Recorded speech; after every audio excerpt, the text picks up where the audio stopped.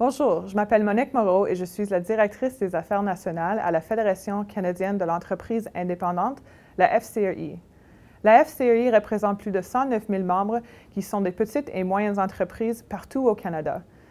Nous faisons du lobbying ou mettons de la pression sur tous les niveaux du gouvernement, municipal, provincial et fédéral, ainsi que sur les grandes entreprises comme les banques et les sociétés de cartes de crédit pour s'assurer qu'eux autres penchent aussi sur les questions d'importance pour les PME au Canada.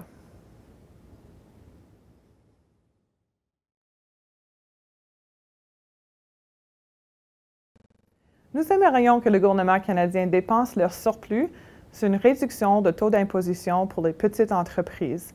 Le taux d'imposition est actuellement 11% et on aimerait qu'il réduise le taux jusqu'à 9% Ceci permettra aux PME de garder plus d'argent dans leur entreprise, de créer un emploi, d'investir cet argent sur du nouveau équipement ou même chercher de nouveaux marchés. C'est aussi une question d'équité pour nous.